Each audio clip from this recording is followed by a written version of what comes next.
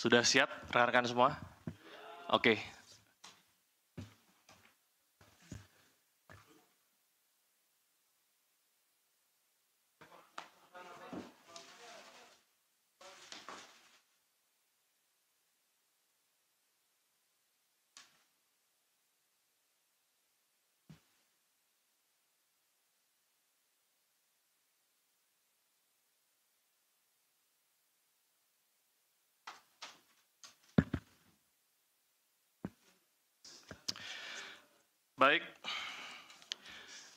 Assalamualaikum warahmatullahi wabarakatuh.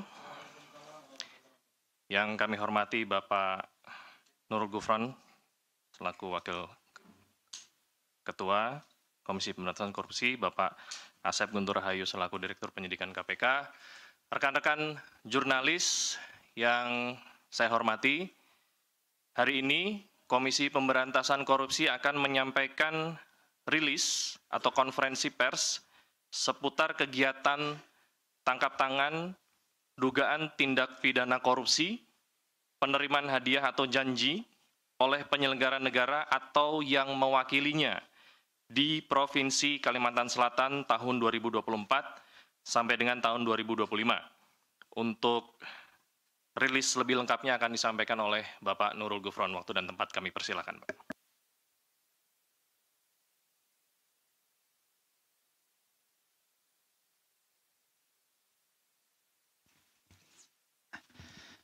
Bismillahirrahmanirrahim.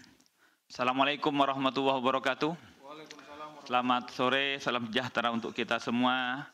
Om Swastiastu, Namo Buddhaya, salam kebajikan, salam.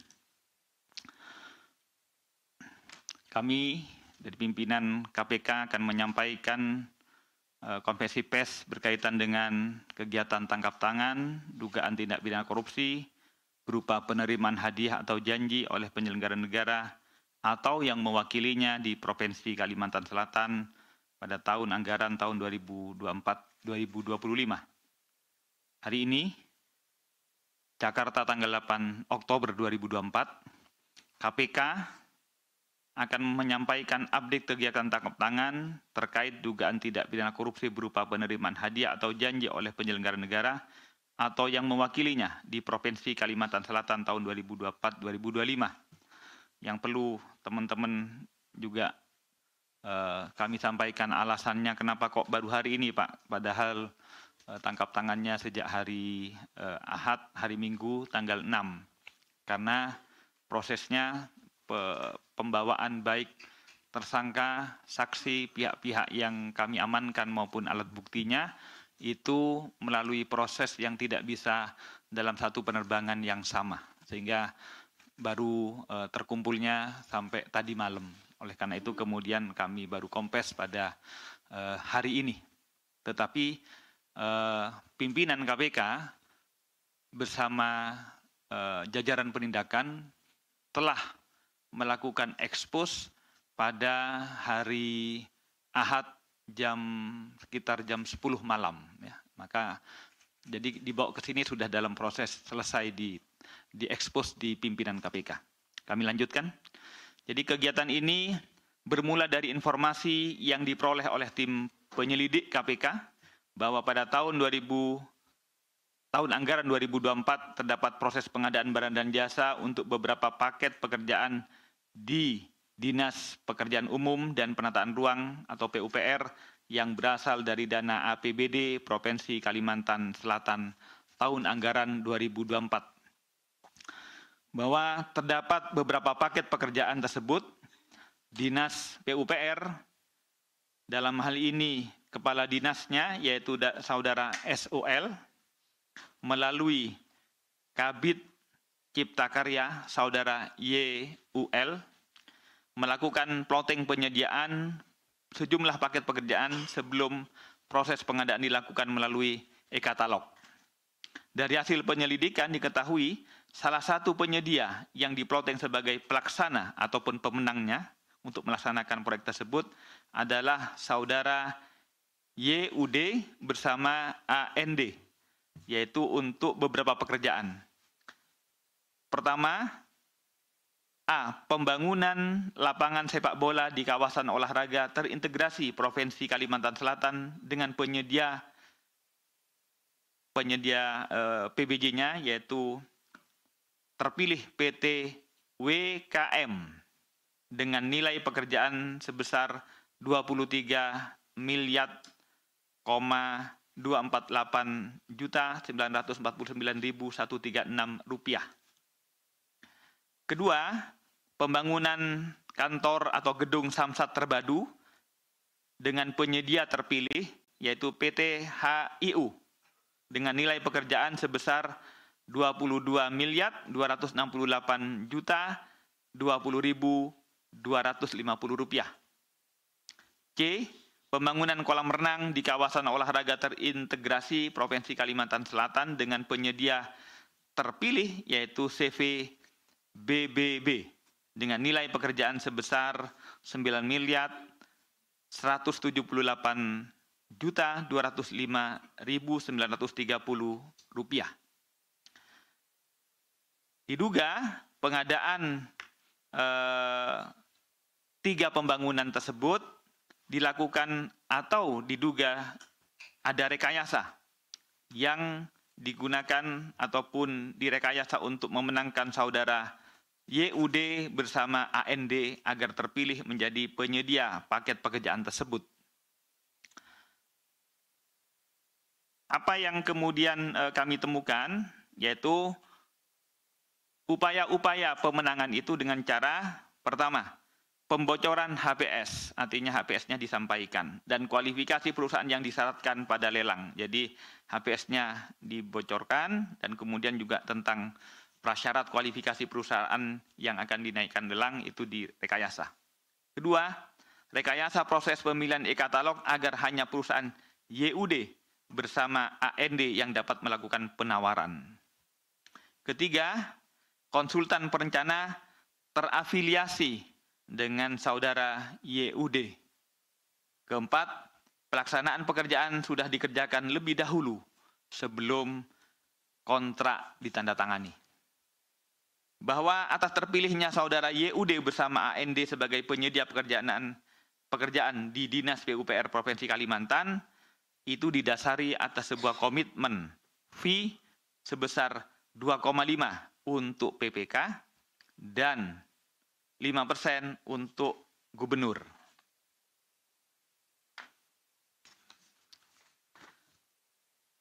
Ketujuh, pada tanggal 3 Oktober didapatkan informasi bahwa saudara YUD telah menyerahkan uang sebesar satu miliar yang diletakkan di dalam kardus berwarna coklat kepada saudara YUL atas perintah SOL bertempat di salah satu tempat makan ataupun restoran bahwa uang tersebut merupakan fee sebesar 5% yang artinya kalau 5% untuk saudara gubernur. Kemudian atas perintah SOL Saudara YUL bersama MHD, yaitu supir eh, YUL, mengantarkan uang tersebut ke kantor Dinas PUPR Provinsi Kalimantan Selatan dan menyerahkan uang tersebut kepada BYG, saudara supir dari SOL.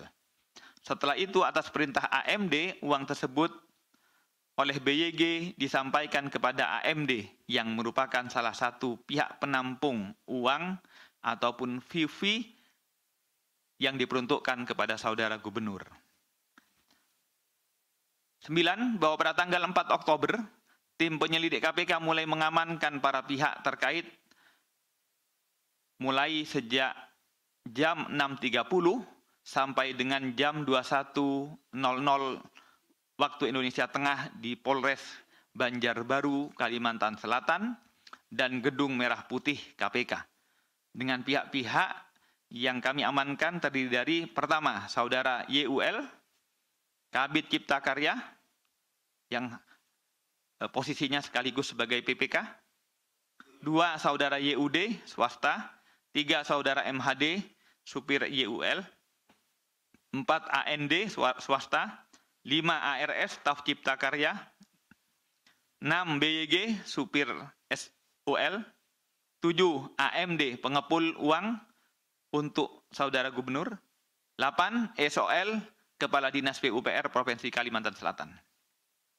Setelah itu, penyelidik KPK juga mengamankan beberapa pihak yang terkait dengan pemberian dan penerimaan fee sebesar 2,5 persen, yang artinya untuk eh, PPK ataupun Dinas PUPR Provinsi Kalimantan Selatan. Sementara yang tadi yang 5 persen untuk SHGB, untuk saudara gubernur. Di antaranya adalah pertama, satu, saudara FEB, dalam hal ini PLT Kabak Rumah Tangga Provinsi Kalimantan Selatan, yang sekaligus juga pengepul ataupun penampungnya. Dua, Dwi, uh, istri dari FEB. Tiga, IRH, Kepala Basnas Provinsi Kalimantan Selatan. Empat, FRI, swasta dan beberapa pihak-pihak lainnya bahwa total pihak yang diamankan sejumlah 17 orang. Bahwa penyelidik KPK juga mengamankan selain pihak-pihak tadi, KPK, penyidik, penyelidik KPK juga mengamankan sejumlah barang bukti di antaranya dari saudara AMD yaitu A. Satu buah kardus coklat berisi uang satu miliar. B. Satu buah tas duffel warna hitam berisi uang 1,2 miliar. C. Satu buah tas ransel warna hitam berisikan uang 1 miliar.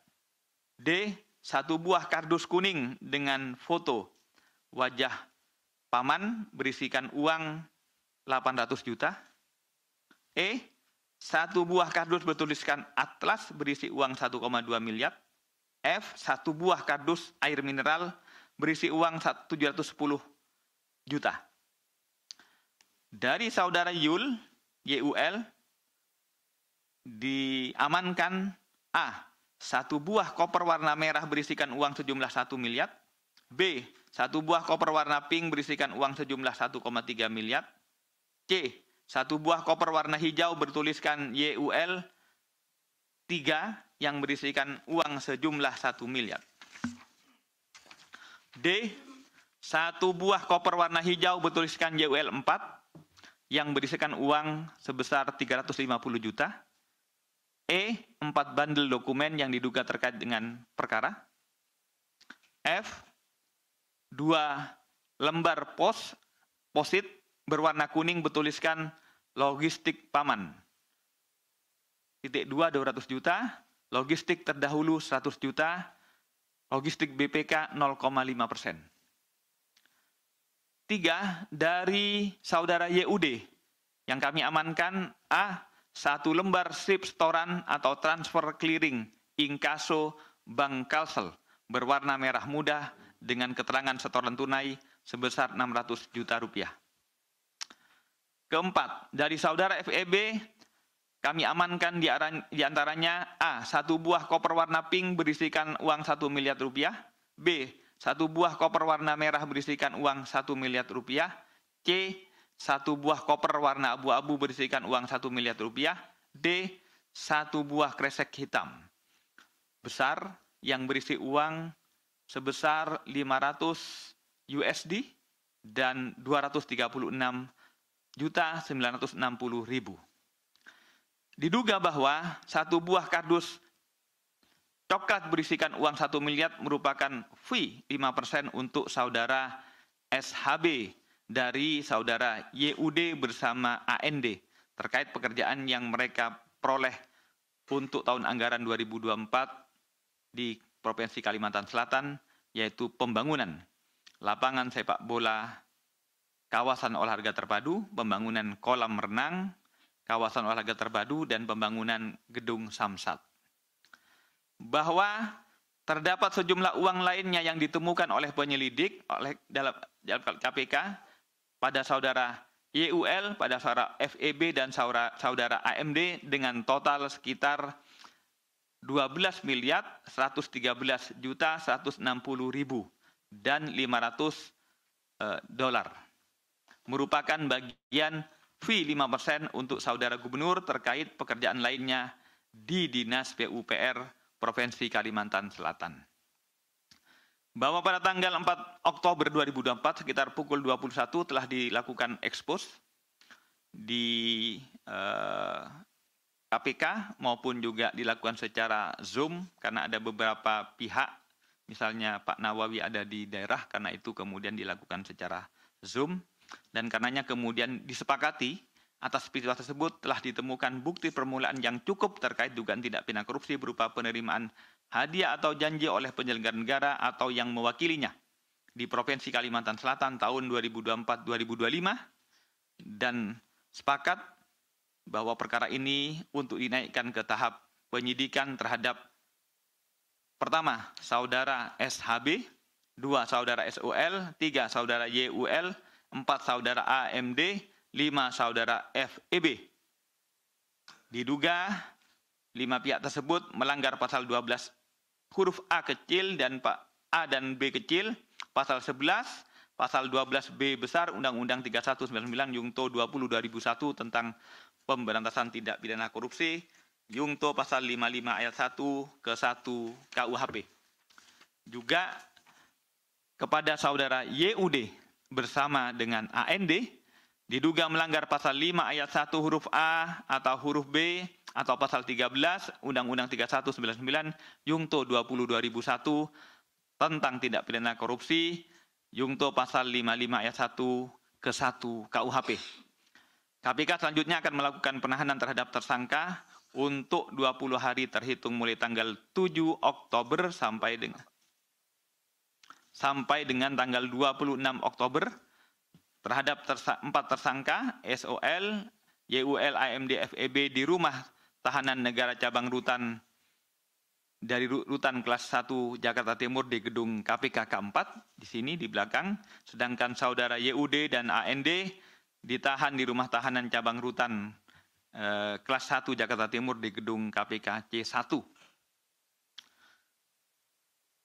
Sampai dengan saat ini penyidik KPK masih terus juga eh, mencari dan mengamankan pihak-pihak lainnya yang bertanggung jawab yang belum dibawa oleh KPK pada hari ini. Terakhir, sekali lagi, KPK menyesalkan dan turut merasa sedih atas kejadian ini. Karena KPK sekali lagi berharap tidak akan lagi ada OTT karena tidak ada korupsi.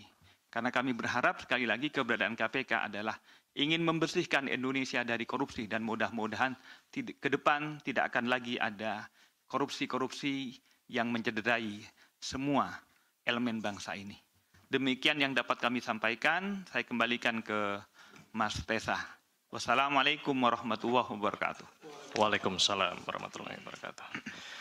Baik rekan-rekan sekalian, kami berikan kesempatan untuk eh, teman-teman uh, menampilkan barang bukti yang telah diamankan oleh eh, teman-teman penyelidik.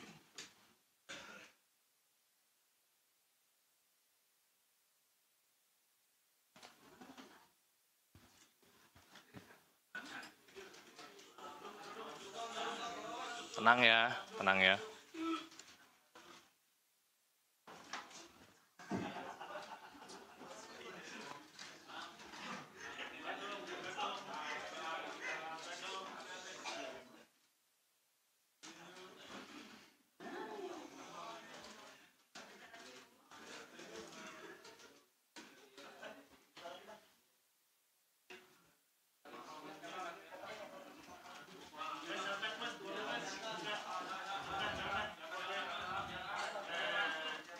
Uangnya aja, uangnya aja yang diangkat, uangnya aja.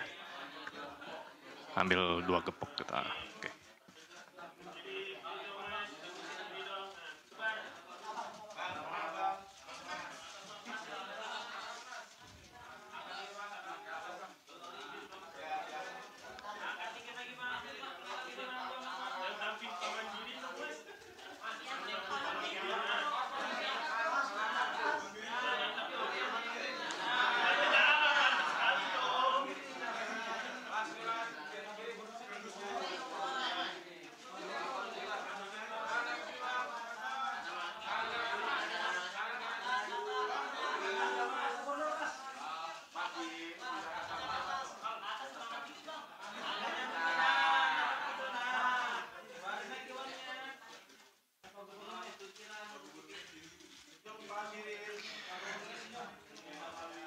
Oke, sudah cukup ya teman-teman.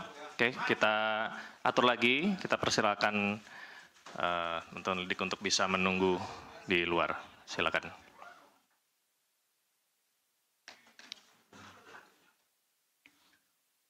Ya, tunggu aja di luar. Baik rekan-rekan sekalian, sekarang dibuka sesi tanya jawab seputar perkara yang telah dilakukan kegiatan tangkap tangan. Jadi hanya seputar perkara yang dilakukan tangkap tangan. Silakan. Mas Chandra. Iya. Uh, mau nanya soal uh, gubernurnya kenapa belum ditangkap?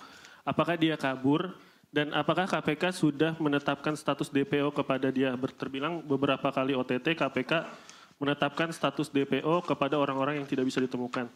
Terus eh, uang-uang uh, yang ada di depan ini apakah untuk pencalonan istrinya Paman Birin uh, si Gubernur Kalsel karena terbilang dia istrinya dia sedang menyalonkan diri di Kalimantan Selatan itu aja.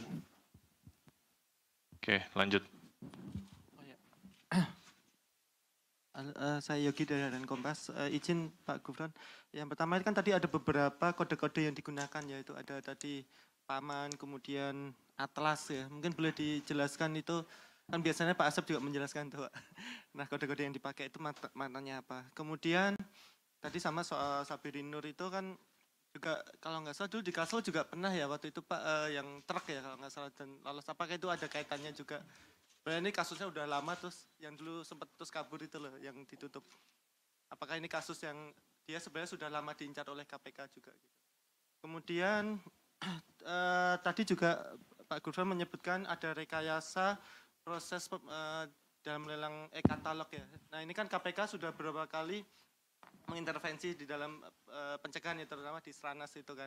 Nah ini kok masih bisa bobol gitu loh. Nah mungkin uh, apakah KPK belum masuk ke sana lebih dalam lagi atau nanti bagaimana ke depannya gitu supaya tidak diakalin terus gitu. Terima kasih. Oke. Lanjut. Masih ada? Untuk perkara ini? Cukup? Oke, Mas Rian.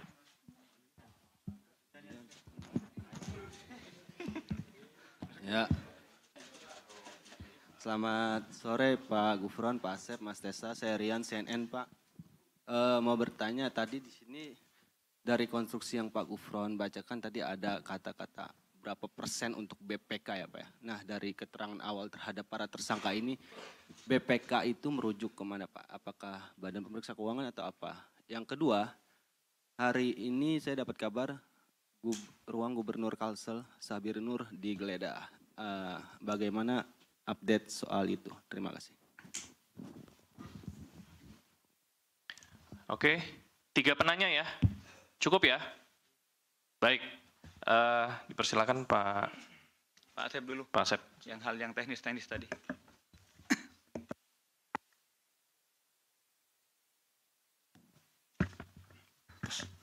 Uh, Bismillahirrahmanirrahim. Assalamualaikum warahmatullahi wabarakatuh. Selamat sore dan salam sejahtera bagi kita sekalian. Yang terhormat pimpinan Pak Nurul Gufron, Mas Desa dan rekan-rekan sekalian yang berbahagia. Eh, saya yang teknis-teknis ini. Eh, baik dari yang paling teknis, ada kode-kode gitu ya. Tadi yang eh, Mas Yogi tanyakan kode-kode ya. Seperti biasanya merujuk kepada eh, sini paman gitu. Paman yaitu juga sedang kita uh, dalami karena di sini ada uh, apa namanya uh, paman itu apakah merujuk kepada Pak Gubernur, Pak Paman Dirna atau kepada siapa sebetulnya.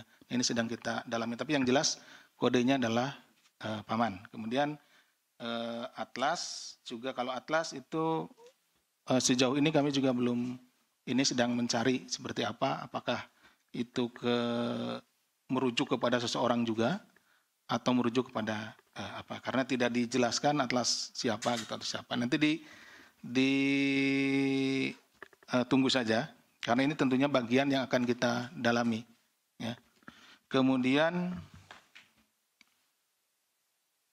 e katalog nanti kemudian ada ruangan. Ini untuk eh, Mas Rian terkait dengan penggeledahan itu adalah merupakan SOP ya. Jadi setelah dilakukan setelah naik sidik, kemudian eh, OTT eh, dilakukan tentunya penggeledahan dan lain-lainnya, termasuk eh, ruangan eh, gubernur, kemudian juga beberapa tempat, ada beberapa tempat ya. Tapi untuk hasilnya belum bisa kami sampaikan kepada Mas Rian pada eh, sore hari ini. Nanti kita akan eh, update ya. Kemudian terkait dengan eh, masalah eh, belum ditangkap Mas Chandra ya. Chandra. Jadi kita sampaikan bahwa proses eh, operasi tangkap tangannya itu kita kan mengikuti jalannya uang nih. Jalannya uang dari awal ya. Mas Chandra. Jadi ada informasi terkait masalah akan penyerahan ada penyerahan uang gitu kan ya. Kemudian teman-teman penyelidikan mengikuti mengikuti ya, mengikuti penyelidikan uang. Nah, ini bergerak dari eh, si pemberi yaitu saudara Yud dan saudara AND. Nah, bergerak kemudian dari sana uang bergerak kepada saudara Yul, kemudian bergerak ke saudara BUY dan bergerak terakhir kepada saudara AH, AHM ya. Jadi uang yang itu bergerak, saya ulangi ya, dari pemberi, dari Yud, Andi, kemudian ke Yul, kemudian ke saudara BUY, ini sopir ya, kemudian ke saudara AHMD ya, ke sana. Nah terakhir yang satu miliar itu kita atau teman-teman penyelidikan uh, dan penyidikan yang melakukan OTT itu kita peroleh di sana, gitu ya. E, sebagaimana konsep tertangkap tangan, salah satunya adalah ketika ditemukannya barang bukti berada pada orang tersebut. Jadi setelah kita identifikasi dari siapa orang tersebut, itu yang kita apa namanya e, sentuh terlebih dahulu. Kita ambil terhadap dahulu. Jadi ke, termasuk tadi yang e, 17 orang di awal, ya yang diamankan di awal itu dulu karena kita prosesnya mengikuti jalannya uang tersebut. Nah, uang ini belum terdeliver lebih dari itu gitu. Jadi berhenti pada saudara AHMD ini. Nah, itu. Nah, kemudian eh, dalam eh, perkembangannya dalam eh, ekspos dan lain-lain, nah eh, dalam pemeriksaan-pemeriksaan terhadap orang-orang yang diamankan, nah ditemukanlah adanya kaitan-kaitan terhadap beberapa pihak. Sehingga tadi yang ditetapkan sebagai tersangka itu tidak hanya eh, enam orang yang ada di sini. Gitu. Jadi bisa dipahami, Mas Chandra? Oke, oke, gitu. Kemudian sudah, maksudnya itu cuman ini yang dibawa itu karena memang aliran apa namanya uangnya perjalanan uangnya baru nyampe di sana gitu. Nah, misalkan ini Om ya, uangnya misalkan untuk bapaknya, tapi saya baru ngasihnya sampai ke Om. Nah kita petugas itu baru tahunya sampai Om. Jadi kita berdua diamankan, baru ditanya, nah baru itu kenapa eh, belum sampai ke tadi kan ditanya sama Mas eh, Chandra kenapa belum uh, diambil kenapa belum nah karena baru apa konsep tertangkap tangan itu baru sampai pada nah, om. tapi di dalam uh, ekspos ekspos pimpinan yang tadi disampaikan oleh Pak Gupron itu malam itu ya sekitar jam 10-an itu sudah ditemukan keterangan-keterangan yang menyambungkan ke ada ke pihak-pihak lain sehingga pihak lain yang dijadikan juga tersangka. Oke, bisa dipahami? Yang lain-lainnya mungkin bisa dijelaskan Bapak. Silakan Bapak.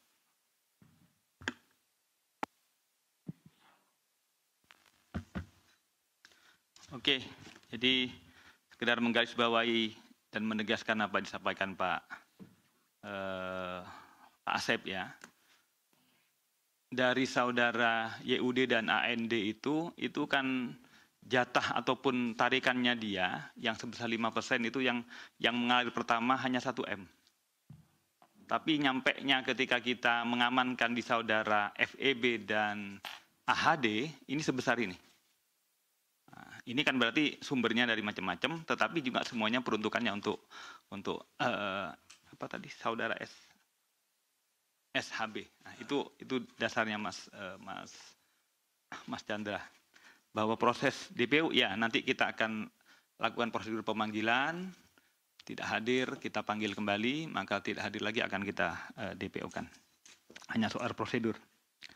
Yang perlu uh, di apa digarisbawahi juga misalnya pertanyaan apakah ini menunjukkan bahwa pencegahannya masih belum mampu? Iya termasuk juga sesungguhnya perbaikan-perbaikan proses uh, PBJ menentukan uh, leveling mana yang harus tender, mana yang bisa PL.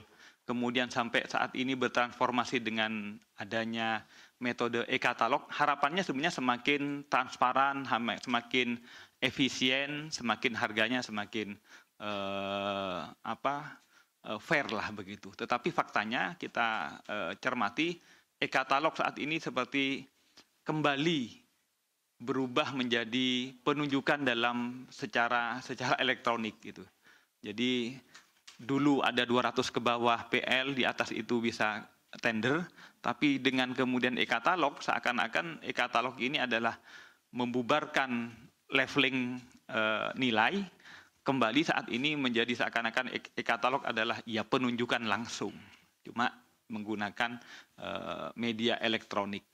Nah, ini yang kita eh, kita cermati dan ini di beberapa eh, daerah e-katalog sekarang berubah seperti ini semua, menjadi seakan-akan uh, upaya pengadaan barang dan jasa melalui penunjukan tetapi semuanya di di elektronik. Nah, ini yang kita akan kemudian berdiskusi dan membahasnya bersama-sama dengan LKPP untuk kemudian mengevaluasinya itu mungkin yang uh, di yang dapat saya uh, sampaikan ya. Oke. Okay.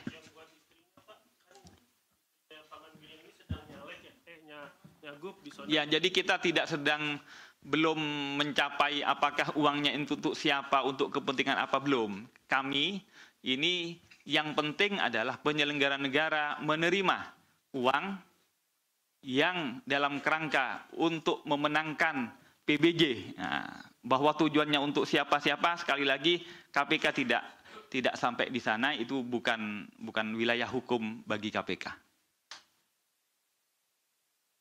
Baik. Terima kasih rekan-rekan sekalian. Kita berikan kesempatan untuk Pak Nurul Gufron meninggalkan tempat dan untuk tersangka bisa lanjut ke kegiatan pemeriksaan. Terima kasih banyak Pak.